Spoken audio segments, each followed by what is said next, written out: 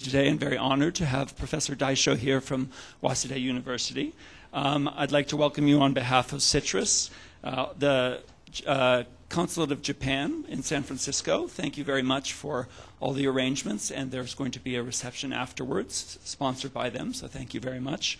Um, also, like to thank Mechanical Engineering for uh, many of the students and uh, faculty are here, very interested in this topic. Um, and uh, I also want to make a few notes that uh, there are questionnaires that the consulate asks you to fill out to uh, get your response on how you felt the talk was. Um, and there are handouts on the talk. Right now, some of you have them. They are the second part of the talk, and we are printing out the first part, so you will have them by the end of the talk. Um, uh, let me first also say thank you to the CITRIS staff for all their help in, in putting this together. Uh, and now, first, I'm going to introduce Professor uh, Liwei Lin, who is going to introduce the Consul General uh, from the Japanese consulate. Thank you. So, my job here today is very simple, very short. I'm going to have the honor to uh, introduce uh, Nagamine san, uh, the General Counsel of Japan in San Francisco, on behalf of Mechanical Engineering Department here. And he will give a very short, brief talk before the real talk. Let's welcome him.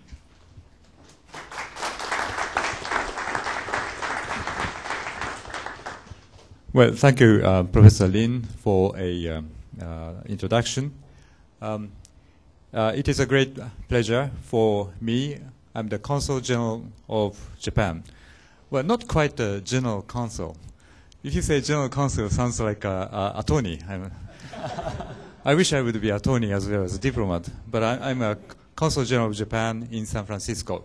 Um, I'm very glad to sponsor today's uh, uh, talks by uh, uh distinguished Professor uh, Yasuhiro Daisho later.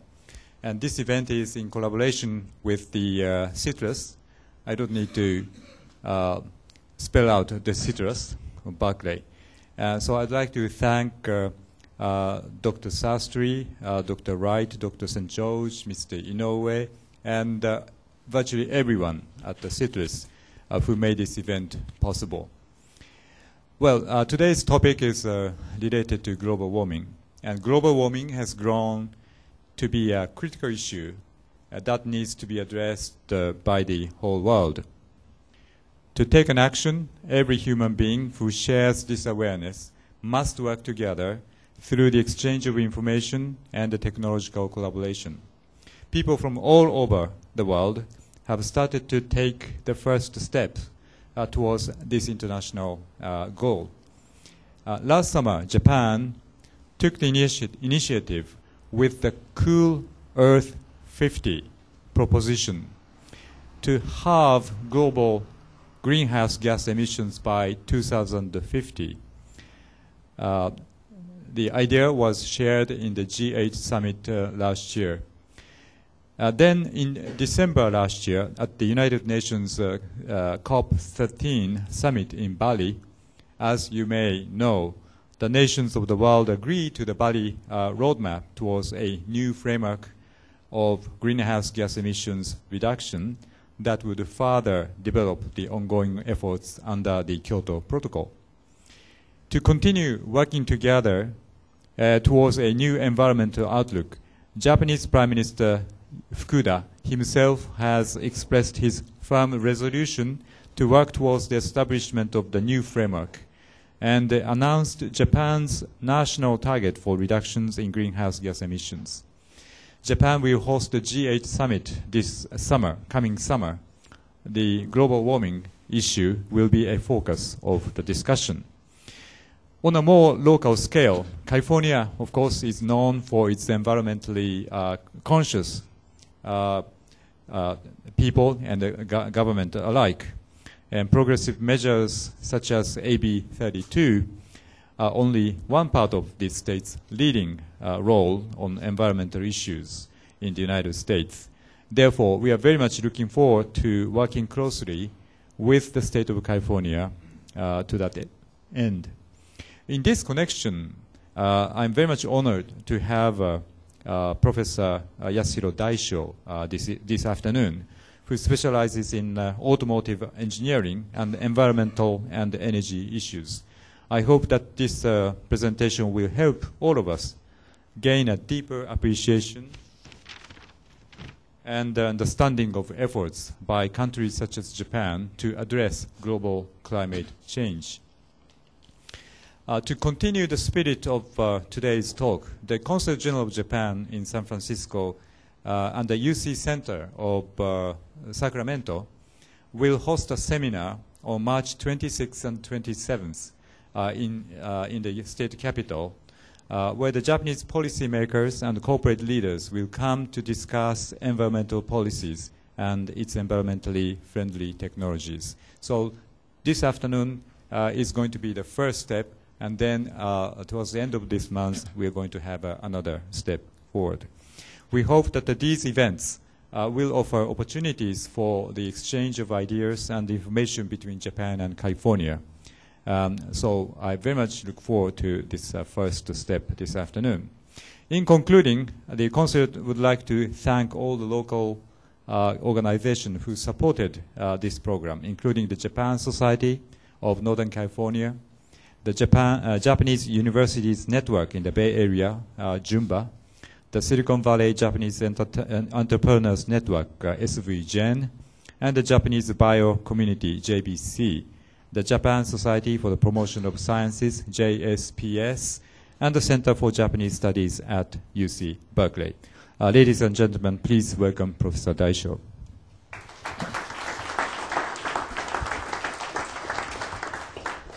Uh, thank you. I just want to have one more professor come and introduce Professor Daisho.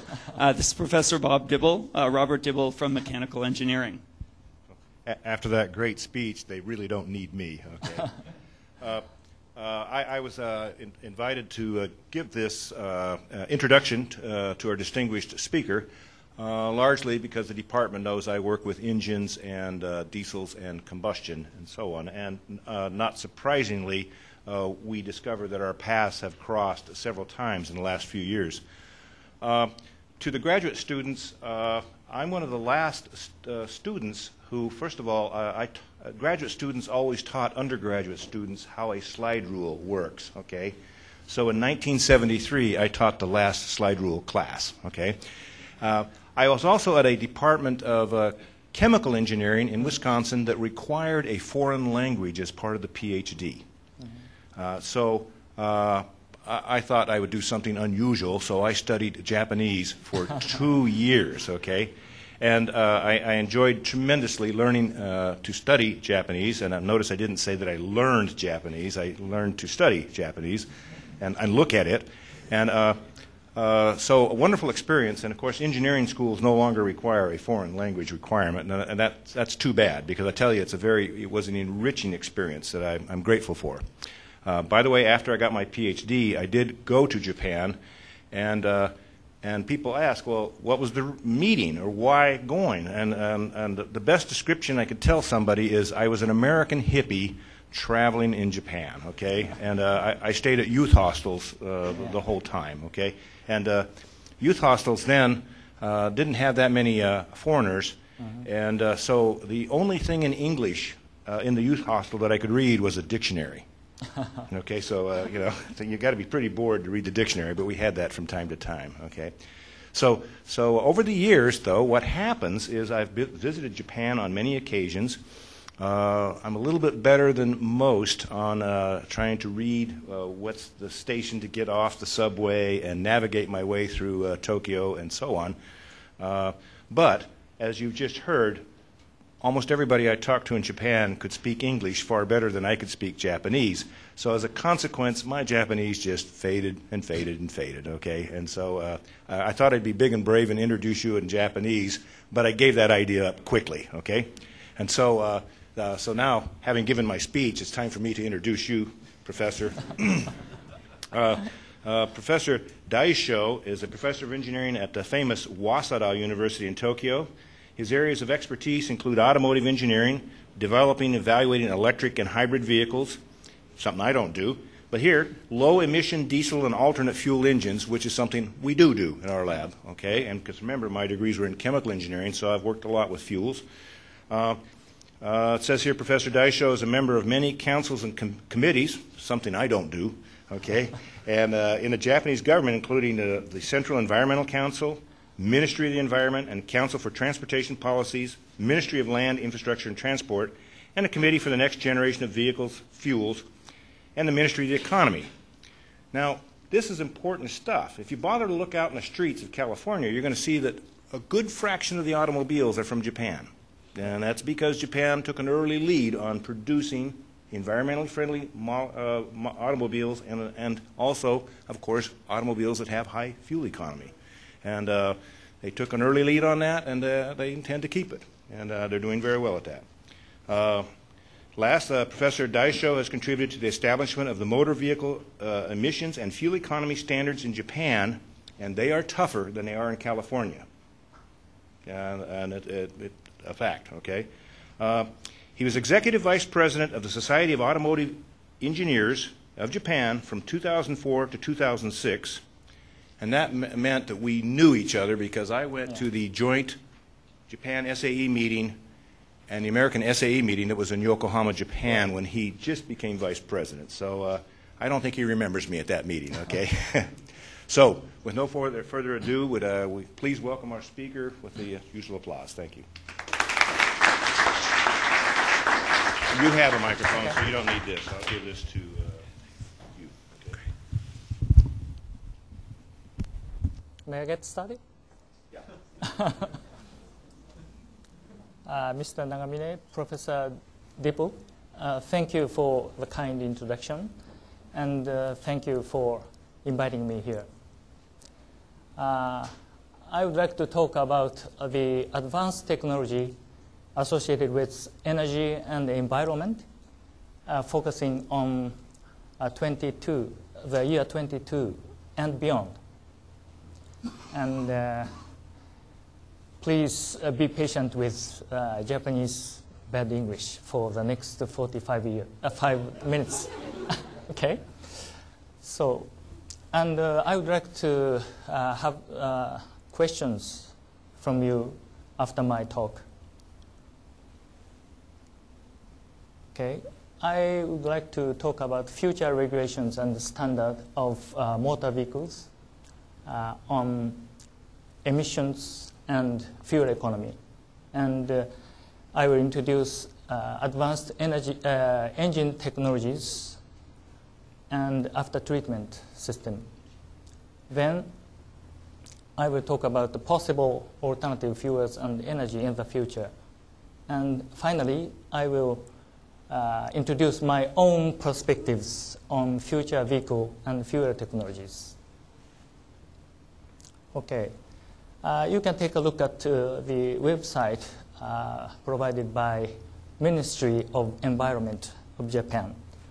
And uh, this, these dot shows the uh, suspended uh, particulate matters concentration hour by hour. And some places we are suffering from the air pollution of uh, SPM, suspended particulate matter, as shown here. Okay, but uh, almost all mega cities in the world they are suffering from air pollution. Okay, so we have to overcome such problems in the near future. Maybe in developing uh, countries, uh, they will suffer from uh, such air pollution uh, beyond 2010, but uh, in motorized country and developed country, they will be able to overcome such air pollution okay, around 2010 or a little bit later. Okay, so okay. Uh, speaking of gasoline engines emission control system, uh, gasoline vehicles are achieving almost zero emission levels by significantly reducing cold start and warm up emissions. Okay, uh, as shown here, uh, the engine utilizes very sophisticated electronic control unit, and uh, it utilized two catalysts uh, to reduce uh, emissions uh, during cold start and uh, warm up conditions. Okay. This is, uh, these are three monkeys suffering from bad smell from diesel, bad uh, smoke, and noise. So we have to solve these problems. Okay. And this figure compared the emissions standard of uh, Japan and EU and the States. As you can see, we will be, oops.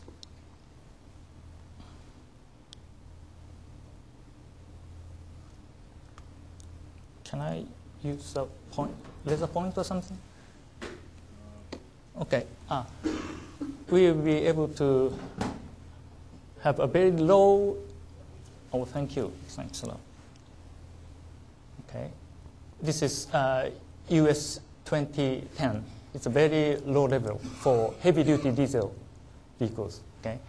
And uh, Japanese uh, regulations will be here.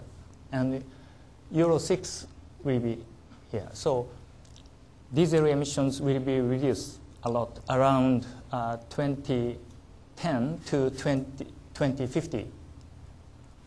Okay, and we need uh, international harmonization associated with such uh, emissions to be reduced. Okay, using the same uh, testing procedures and regulation level. Okay, this is the typical uh, advanced diesel uh, emission control system, including turbocharger and exhaust gas recirculation and after treatment systems.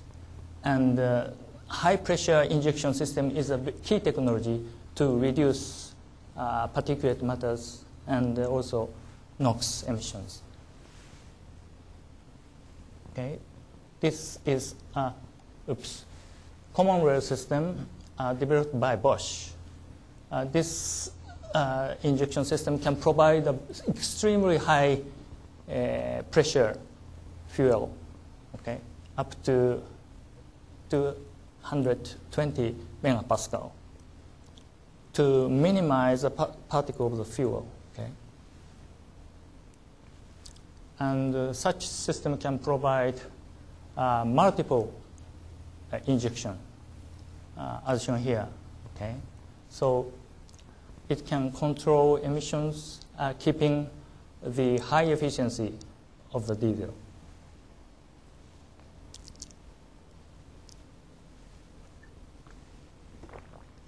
To avoid soot and NOx emissions, uh, lean combustion is very, very useful.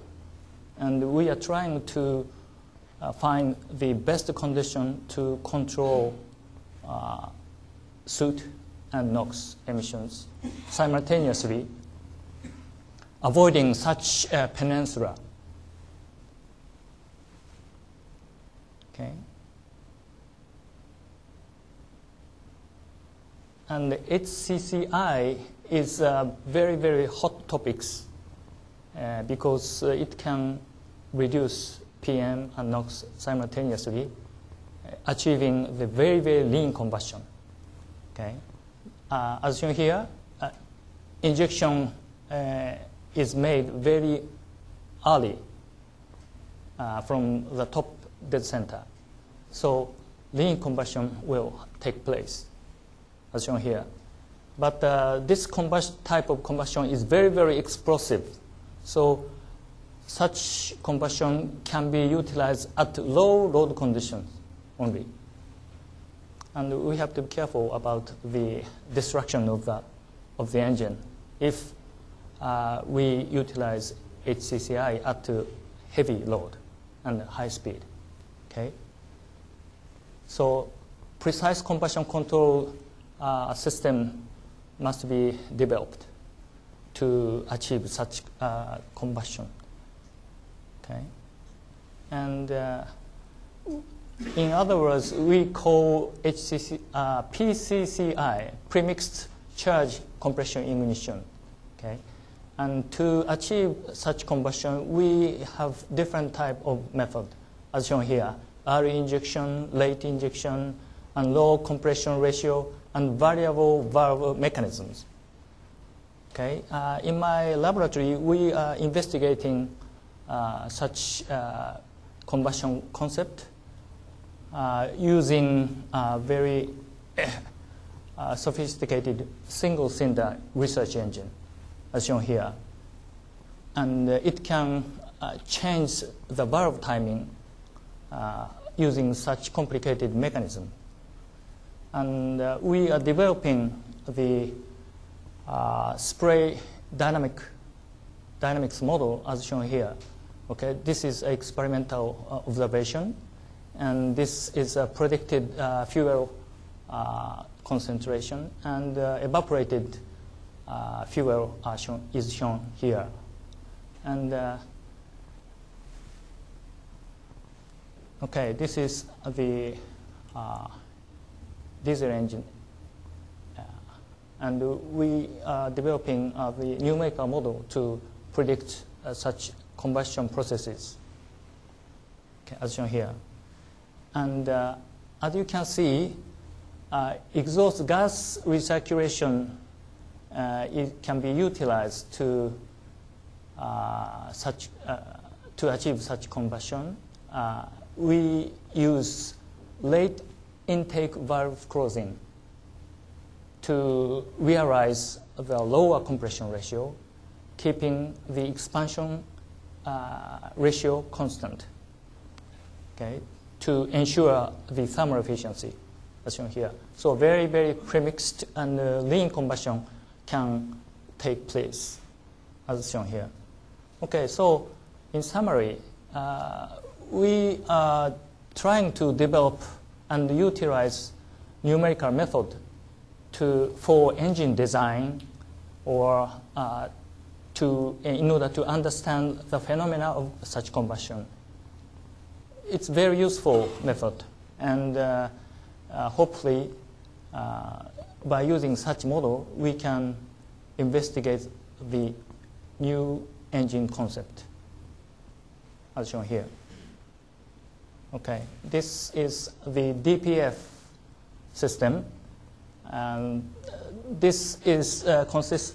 Uh, co- this uh, such system include uh, ceramic filter to trap uh, diesel particulate matters. Okay, as shown here, and uh, this system uh, requires uh, high temperature conditions to reburn accumulated soot on the filter. So, okay, and this is a selective catalytic reduction system to reduce NOx, shown here. Urea solution is necessary to produce ammonia. Ammonia is a very, very strong uh, effect on reducing uh, NOx in the exhaust gas. Okay.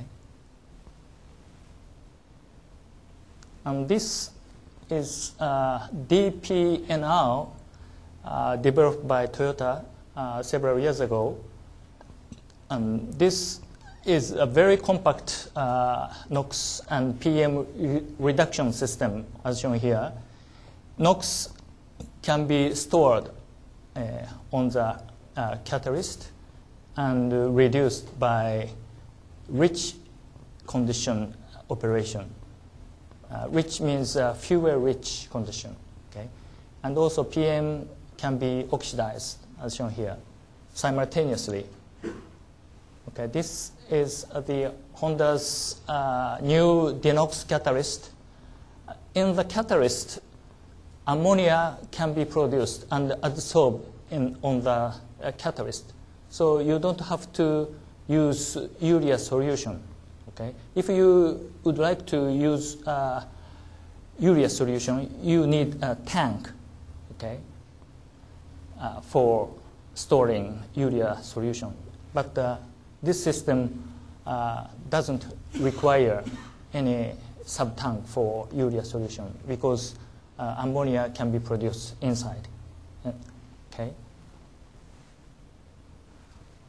So this is comparison of NOx storage type catalyst and urea SCR system.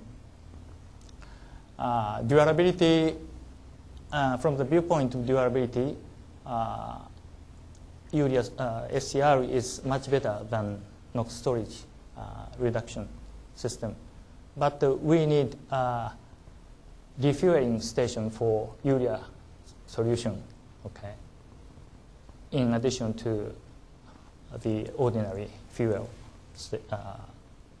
infrastructure as well.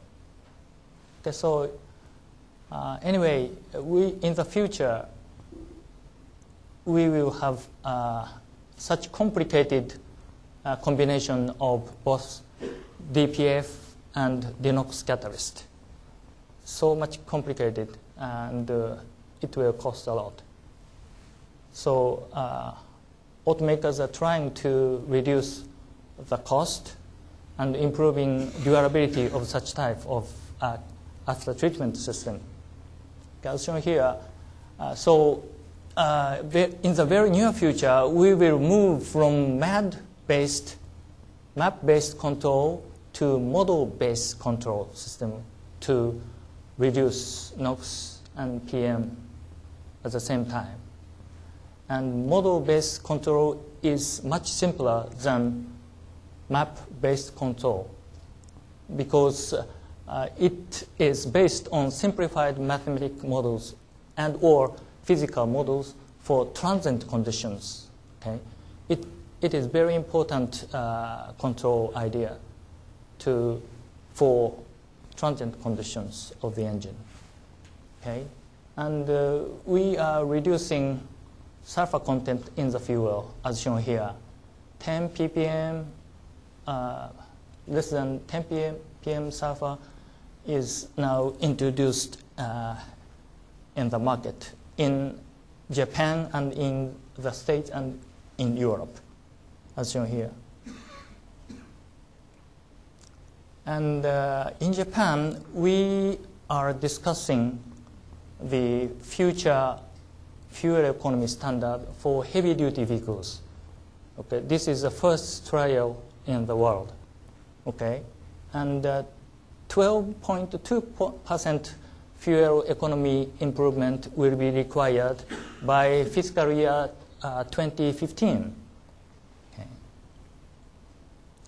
As shown here, uh, depending on the uh, vehicle category, we have a different uh, standard, as shown here.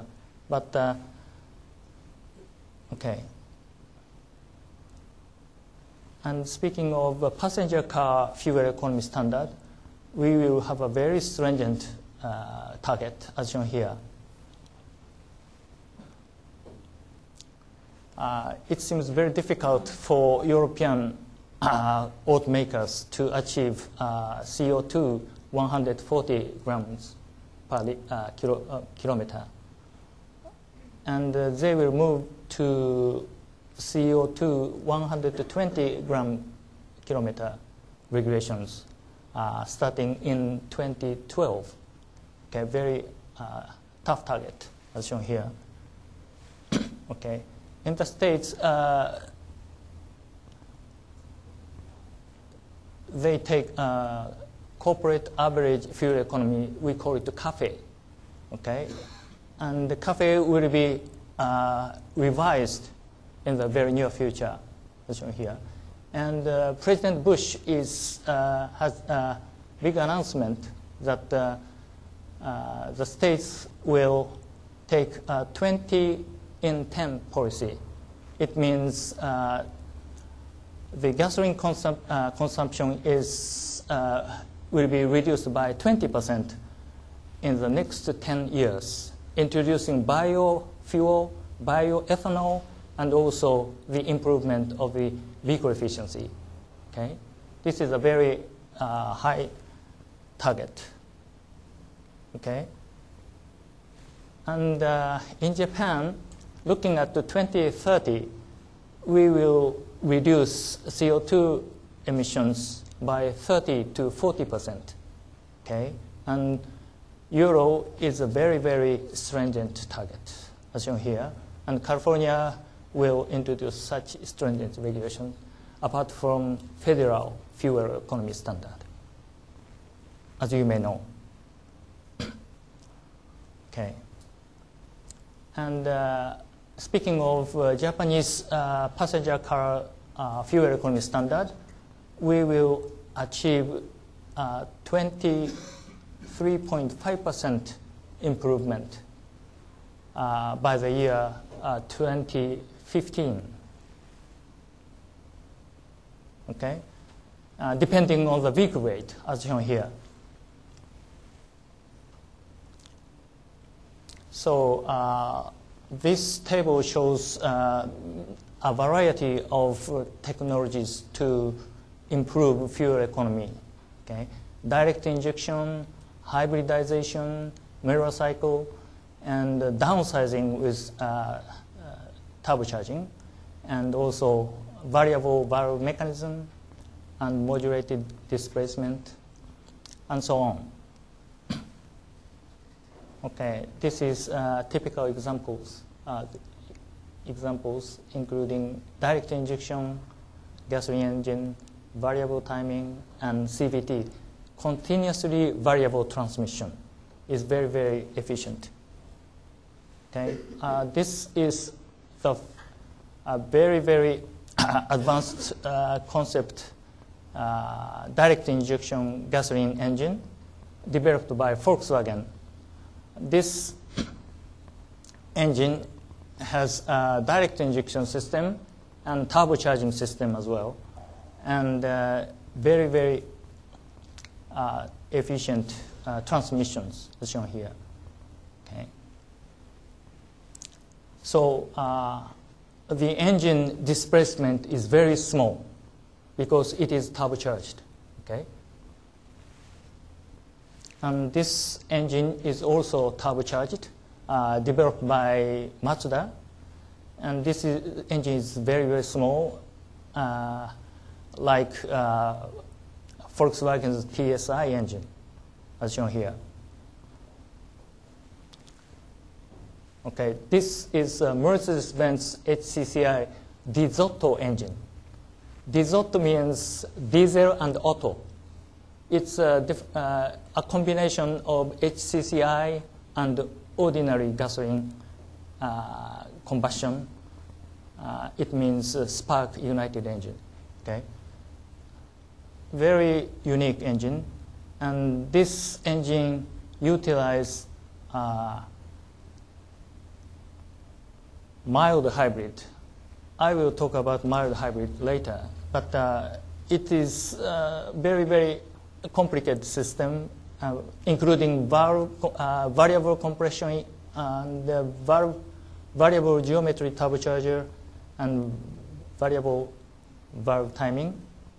And at uh, light load, the HCCI combustion is utilized to reduce NOx, okay, to achieving the very low temperature combustion okay, the combustion process are compared, and uh, very, very lean combustion can be achieved by utilizing HCCI concept.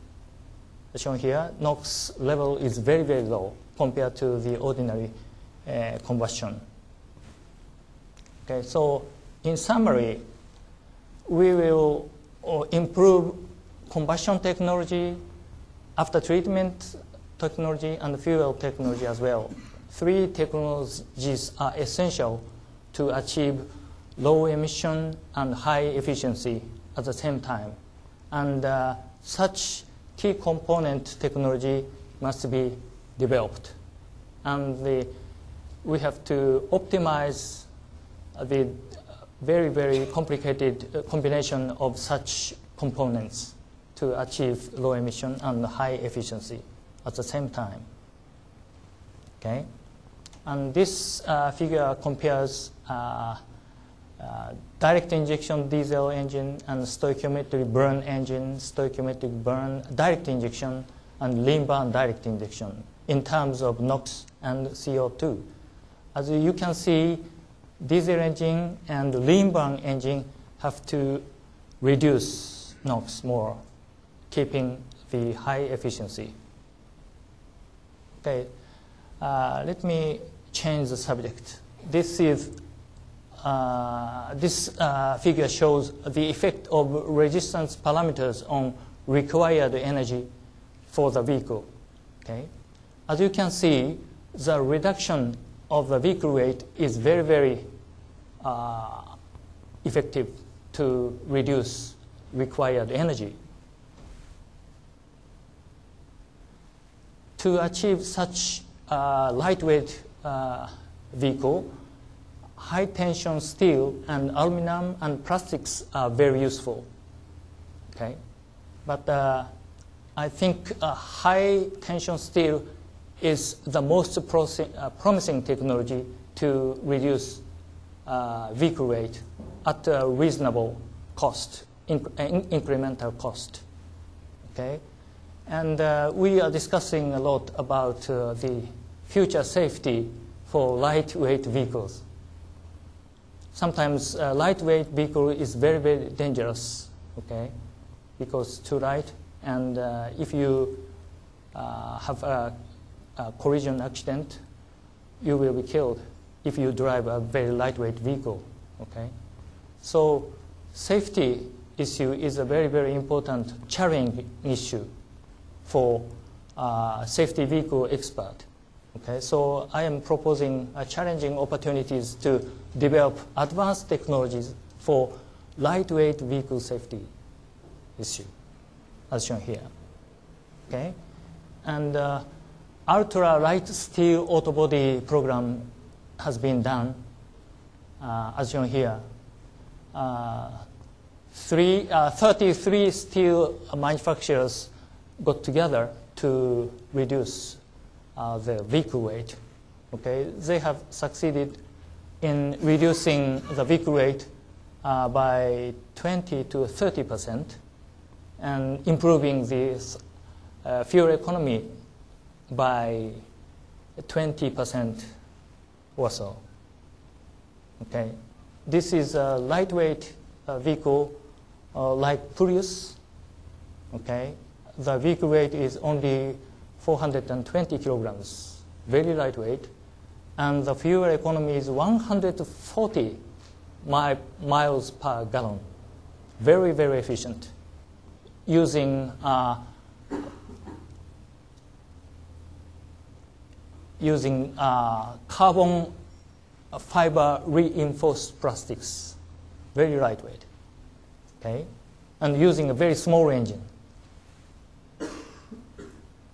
Okay, speaking of uh, electric vehicles, uh, we will have a uh, micro uh, electric vehicles and hybrid uh, vehicles and also fuel cell vehicles. Okay, and uh, such advanced technology are required and are developed, are being developed.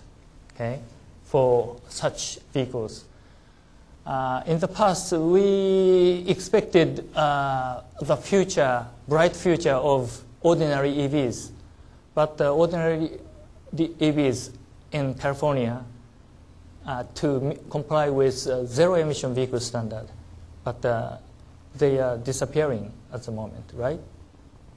So, uh, because ordinary EVs are suffering, were suffering from heavy weight of the battery unit and uh, long time recharging okay so and very expensive for replacement of the battery with a new one this is the advanced very mini type uh, EVs uh, developed by Mitsubishi using a lithium ion battery uh, this battery's uh, technology is a very very important technology to carry uh, sufficient energy and providing uh, high power, as shown here. And the running cost is very, very cheap, as shown here. Okay, because uh, if you can take a nighttime recharge, the cost will be one ninth of the gasoline vehicle, as shown here. Okay, and CO2 emission is very low, as shown here. Because in Japan, uh, 30% of electricity is generated by nuclear power. Okay, so we can reduce CO2 by 30% or more. Okay, and in our laboratory, we have uh, developed such minibus uh, equipped with uh, motor and battery. Okay, this uh, minibus has a inductive power transfer system uh, without uh, using any plug-in system. Okay, so it's very convenient system, and it has only a very small battery unit. Okay, this is uh, inductive charging system, and this is located under the floor. Okay, while stopping the vehicle, the electric charging will take place. Okay, very for very spending very short time. As shown here. Okay, speaking of uh, hybrid system, there are three different kind of hybrid system as shown here. Okay, parallel system is sometimes called mild hybrid. Okay, and the engine and motor is connected directly to generate electricity and also uh, it can drive the vehicle. Okay? And series type is a combination of engine and generator, and the engine is used only for electricity generation. Okay? And uh, series parallel uh, type is shown here. Okay?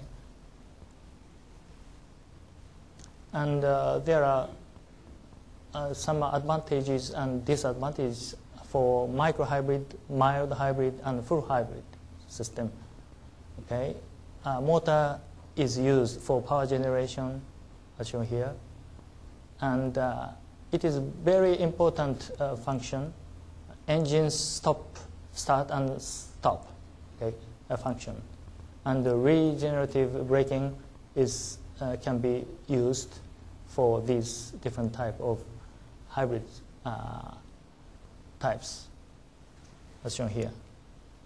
And this is uh, Waseda Future Vehicle. Uh, we have developed such uh, very efficient hybrid system, shown here.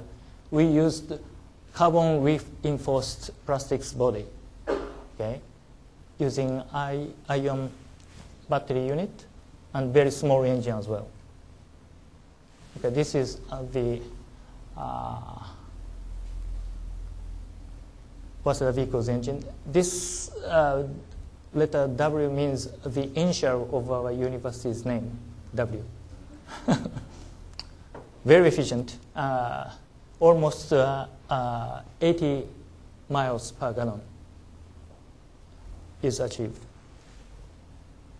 Okay, this is uh, BlueTEC hybrid uh, developed by Mercedes-Benz.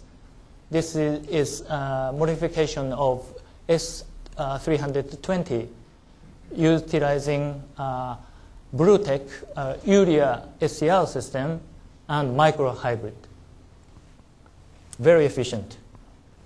And this is a plug-in hybrid uh, vehicle developed by Toyota uh, based on uh, Prius. Okay, it has another set of uh, nickel hydride uh, battery unit as shown here. Okay, this is uh, Volvo's recharge system, recharge concept car. Uh, it has a plug-in type series hybrid system, okay, shown here. Very efficient vehicle. Uh, equipped with uh, lithium ion, uh, ion battery unit, shown here. Okay, this is uh, Opel's concept sporty EVs, E-Flex. And uh, it has a series hybrid uh, system with uh, 1.3 liter diesel engine. And it has a pair of Segway. Okay, so you can enjoy uh, Segway with your girlfriend or boyfriend, stopping at the uh, inlet of the some forest or something, uh, off-road area. But uh, be careful, it runs only 23 kilometers. So you have to go uh, 10 kilometers away and you have to return. Do you understand? Okay, so uh, this is uh, a summary of uh, the trade-off of increased cost and improved fuel economy uh, in terms of uh, micro, hy- micro hybrid, mild hybrid, uh, and full hybrid. Okay, uh, to be used for gasoline vehicles and diesel vehicles. Okay, and development of major components are shown here. We need advanced motor and ba- battery unit and DC-DC converter as well, and other electronics. Okay. And incremental costs must be uh, considered as shown here. Okay. Diesel engine is uh, more efficient than gasoline engine, okay, but uh, the diesel engine is a little bit expensive. So we have to consider the trade-off cost and fuel efficiency. Okay, as shown here. Okay, and uh, uh, the Japanese government has established uh, the future target for developing lithium-ion batteries uh, for uh, vehicle applications, as shown here. Uh, the cost must be drastically reduced in the future, as shown here, and uh, the performance of the battery have to be improved uh, by uh, 50% uh, by the year 2015. It's a very, very tough target to be achieved. But uh, battery industry and uh, national laboratory are working very hard on this uh, target, as shown here. Okay. And speaking of the future motor vehicle fuel, we have some options, including biomass fuel, electricity, natural gas, and so on. Okay, but uh, flexibility, flexible, flexibly blendable, and compatibility with conventional fuels are very essential issue. Okay, and adaptive to existing refueling infrastructures is also very important issue, as shown here. Okay. Okay, let me introduce some uh, Japan hydrogen and fuel cell program. Okay, we have uh, 10 refueling stations for hydrogen uh, fuel cell vehicle as shown here. Okay, we have such different type of uh, fuel cell vehicles tested on the road. Okay, GM uh, is now providing uh, hydrogen 3 uh, for metropolitan area in uh, Japan. Okay? And uh, we are carefully comparing the uh, CO2 emissions okay, of these vehicles and conventional vehicles as well, such as gasoline vehicle and gasoline hybrid and diesel and diesel hybrid and CNG vehicles. And uh, as you can see, battery uh, uh, EVs are the most efficient and the lowest CO2 emission vehicle, as shown here. Okay.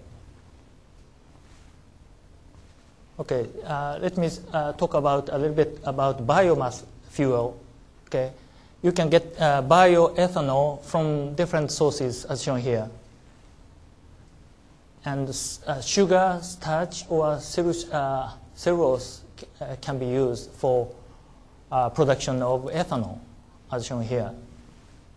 Okay, and Honda and RITE has uh, developed RITE strain.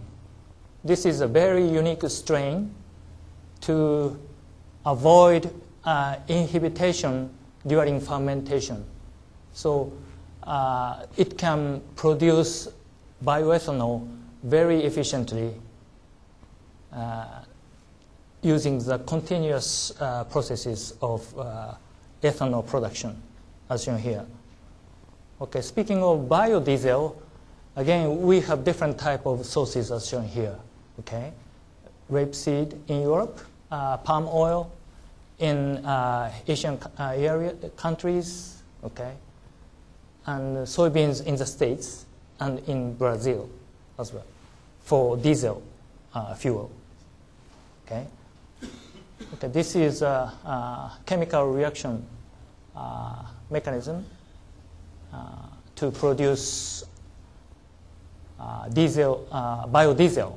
We need methanol, okay, and we get byproduct glycerin.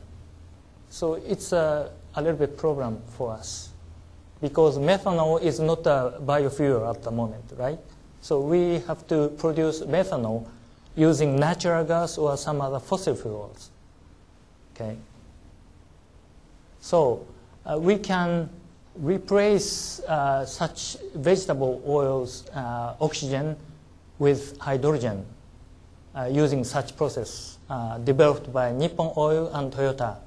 This is very useful uh, process because you cannot, you don't have to add palm oils, diesel,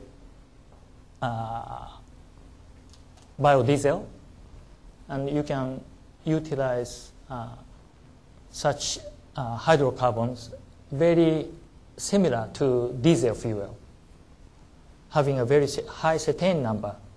Okay? And this is a future advanced process to produce diesel fuel utilizing such biomass, uh, uh, including crops, wood, grass, and waste, as shown here.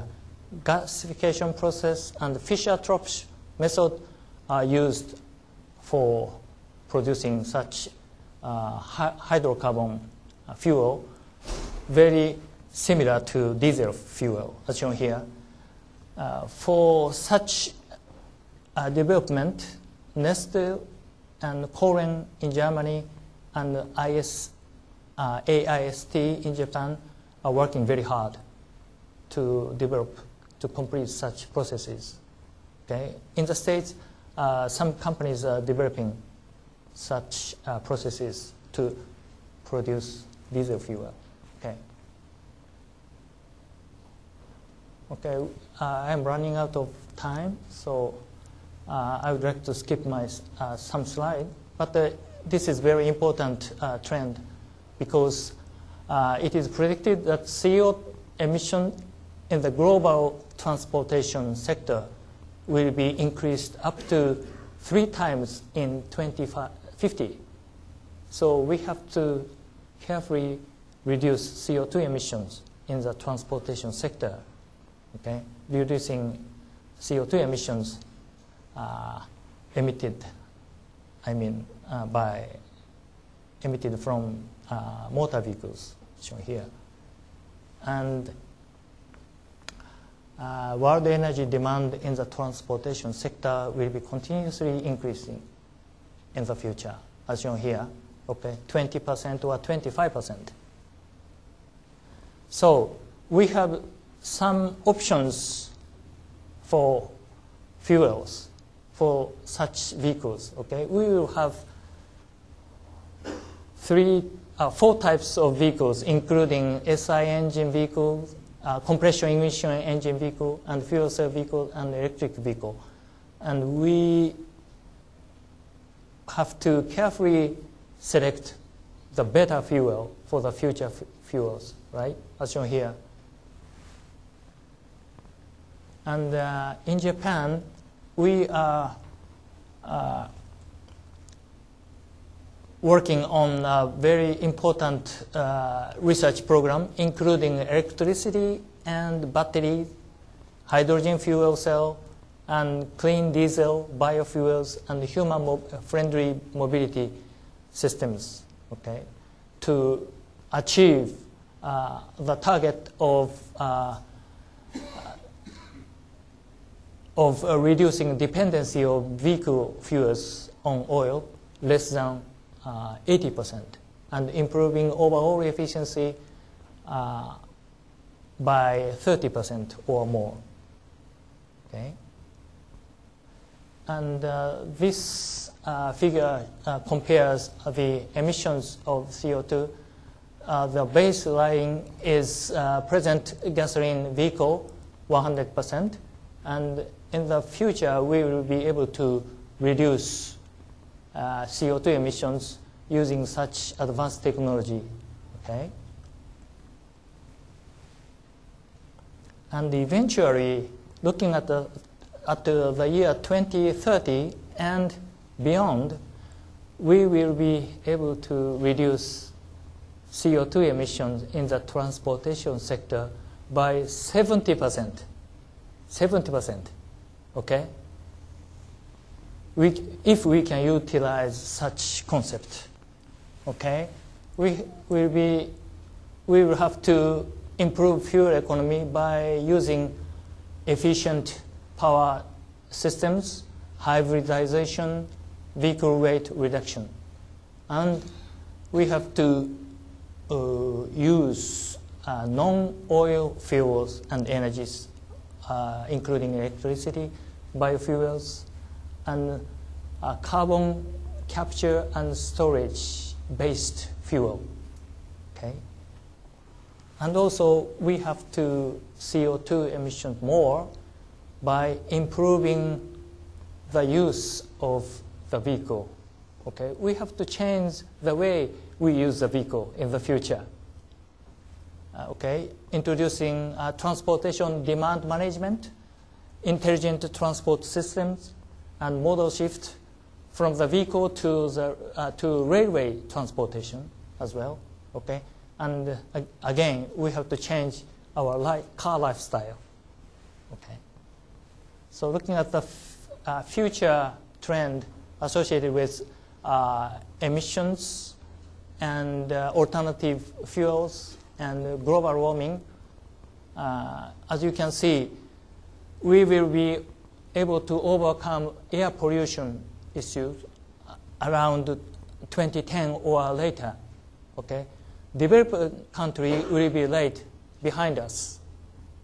Okay, but uh, the developing countries or motorizing country will need some alternative fuels like vegetable oil or biomass fuels. Okay, and global warming issue will be more and more important in the near future. Okay? Thank you very much for your kind attention.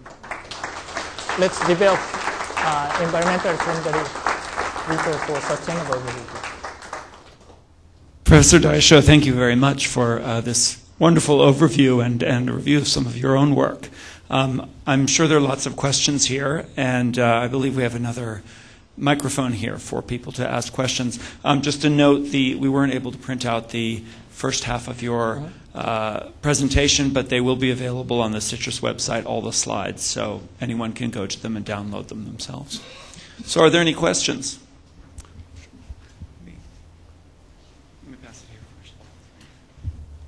Um, I was wondering um, how this, how in Japanese society and um, government, the relationship between government and business, um, and how how um, something like this moves forward, how it's different than the United States. Mm-hmm. Okay, we, uh, for example, in order to establish uh, new regulations associated with emissions or fuel economy, we discuss a lot uh, between, uh, we have a very severe discussion between industry and government and uh, neutral uh, advisor like me. Okay, and uh, we had an interview, technical interview, and uh, very very uh, detailed discussion, looking at the uh, looking at the future technologies to be developed. Okay, and eventually we determine the the emission level or fuel economy standard level. Okay, so it's a very tough discussion between industry, government, and uh, neutral advisors. Okay, but uh, in the states and in Europe, they uh, the government has its own overview or perspective on the future fuel regulations or emissions regulation, right? So no discussion between industry and government. Uh, Different way. You talked about uh, using urea for pollution control. Yes. And uh, I was wondering on those systems, let's say the urea runs out, I assume the engine is capable of running, it'll just pollute. And uh, so I wonder if, if, you're, if you would think of shutting down the engine with, uh, to Right. enforce uh, uh, you, the pollution control, or you'd leave, would you leave someone stranded in the Uh-huh. desert, or because the urea tank is empty, or what, what kind of system yes. would you use yes. It's a very huge this? problem in the state and also in Japan and in Europe, right? And uh, we are introducing OBD system, on-board diagnostic system, okay? And uh, you get a warning, okay, uh, saying that uh, the urea solution is uh, uh, running out. And automatically the vehicle speed is reduced if you if you, the uh, urea tank uh, uh, solution is running out. Okay, it's a very important issue. Yes, please. Hi, um, I have two quick questions. One with the efficient diesel vehicles, um, the amount of pollutants by weight is reduced, grams per kilowatt hour. Mhm. Do you know if there's a different distribution in terms of the particulate size? Because there's a health Mhm. concern with small Mhm. particles. Mhm. Uh, yeah, it's a very big uh, issues, and as you may know, uh, in Europe, they will regulate the particle number. Uh, Because you, you can know? have many more tiny particles which Yes. have different health effects, and they will yes, weigh much less. yes, we call it uh, uh, nanoparticle, right? Yes.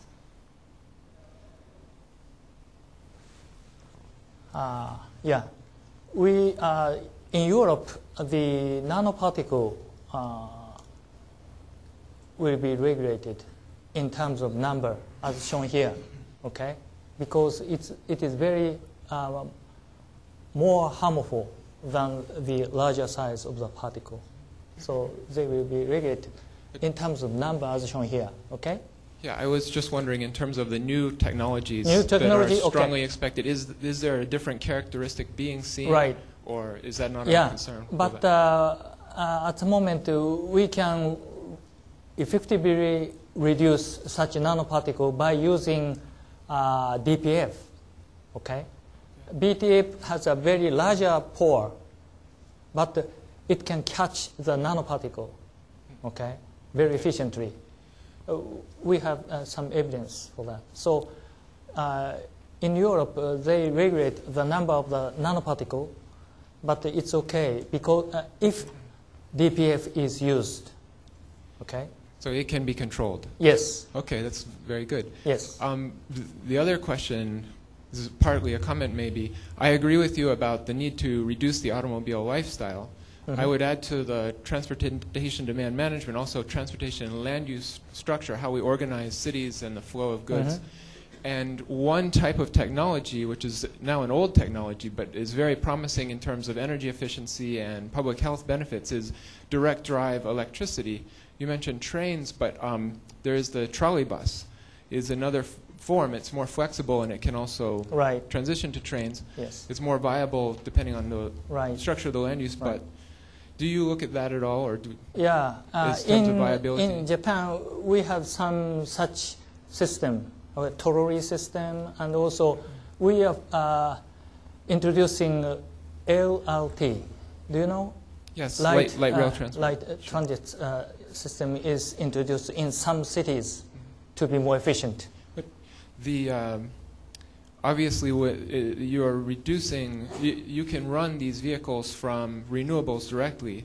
They're Yes. very energy efficient, and you're removing the need for uh, so many batteries and engines. Yes. So you have more space. Also, because it's direct electricity, you have very fast torque, so you can Uh-huh. cover ground faster. You need fewer vehicles, fewer drivers, and they last longer, less maintenance. Yes. But um, they used to be very widespread, and then they Uh-huh. were transitioned from. But I'm Uh-huh. thinking that maybe they have potential t- for widespread use, not only for public transport, but for but goods for movement personal, uh-huh. in the future as people are organizing to um, use less energy and to reduce carbon emissions. yes. So I'm just wondering if you, what you think about that. Yeah, uh, we are uh, developing lithium-ion battery unit. Okay, Yeah. very efficient, and uh, it has a very high energy density and power density as well. So we are focusing for that. And also, uh, as I told you, uh, plug-in hybrid or uh, inductive recharging system will be introduced. Okay, on the road uh, test uh, to start with. Okay, and we will eva- evaluate uh, the performance of such systems. Okay, and comparing the conventional system. Okay. Okay, thank you. Mhm. But uh, again, uh, electricity have to be generated using, uh, hopefully, uh, using uh, renewables, right? still, you're removing the pollution from the city. Yes. That's one method, and you can Reduce the- potential to be run directly from solar or wind or Right. to Nice. control, Uh-huh. be potentially be more efficient at the power plant. Right, right. Coal or something. Yeah, right. But uh, okay, uh, Um, I told, as I told you, okay, uh, gasoline vehicles are becoming uh, almost zero emission vehicle, as you may know, utilizing advanced uh, catalytic converter and electronics and fueling system. Okay, and for example, in Tokyo and in Los Angeles, if you drive a gasoline vehicle, you can reduce air uh, hydrocarbon in the air because tailpipe emissions uh, hydrocarbon is much lower than the air HC uh, hydrocarbon con- uh, concentrations. Okay, so very low emission vehicle. So the problem is the efficiency and the consumption of energy so, using fossil fuel or using u- renewables. so sticking with uh, internal combustion engines, um, you, you- I'm interested in biofuels, and you talked about the importance of making them blendable and look Yes. like petroleum-based ones. Right. But for biology, it's a lot easier to make particular compounds. Um, is it going to be possible, or is it even necessary, Mm-hmm. to change the engines if you just have two or three long carbons, you know, a, a, a 17 and an 18, as opposed to the complex mix you get from petroleum? Uh huh. engine requires a certain number or octane number. That's all. So you can uh, produce any kind of fuel. If we make that, we don't have to make it look like petroleum-based fuel. Oh, fuel. yeah, it's okay. But and also we can utilize uh, existing infrastructure, right? It's very important, right? How many refueling stations in the states? Okay, we have in Japan we have uh, almost uh, 50,000 uh, gasoline and uh, diesel fuel stations, right? So it, it's very useful, it's very convenient to add alternative fuel to conventional fuels, right? Mixed or simply uh, 100% uh, synthesized oil, it's okay. If you can keep the uh, octane number or cetane number at the appropriate level for the engine. Okay? Do you understand what I mean? Yeah, so if I have a bug that spits out octane, Uh-huh. isooctane, um, you know, you can either blend it and sell it to a refinery or blend it, or can we just run a car on it? Hmm Um, so if it's all right to just run a car on it, Mhm. uh, then we're getting a lot closer to a true biofuel. Mm-hmm. Okay. People are concerned even today about the use of hybrid uh, batteries and the Mhm. fact that they are Mhm. not easily refurbished or recycled. Mhm. In the future, do you see that as being a problem also to the environment?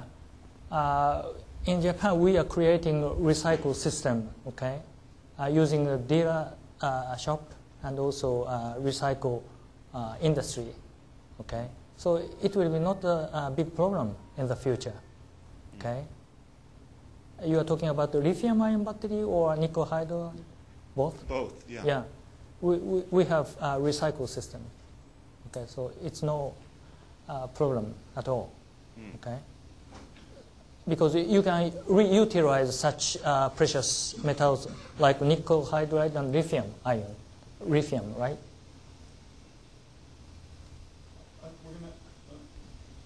We'll have one more uh, question and then invite you to speak with Professor Daisho at the reception out- Yes, uh, enjoying Californian wine. Um, the uh, the stopping and starting that happens like in the Prius gasoline engine, where it stops all the time and starts, is that more difficult to achieve with a, a diesel engine? Yeah, I think so. Because uh, the uh, engine, uh, diesel engine compression is much higher than gasoline engine, but you can utilize valve, a variable valve uh, timing control, so you can reduce the compression ratio, and also then you can utilize uh, integrated start and alternator system. Okay, uh, some uh, Japanese automakers have achieved such system for hybrid system. Okay. One more. I have one question. Uh, look, sounds uh, you have the great research laboratory in Waseda. Mhm. So how many students do you have? 50. 50. Yes. Oh, great number. So can you accept somebody smart student from Berkeley to your laboratory? Yeah. we have to uh, prepare extra desk and chairs. Okay, wonderful. Thank you very much. Thank you. please, everybody, please give another round. Thanks a lot.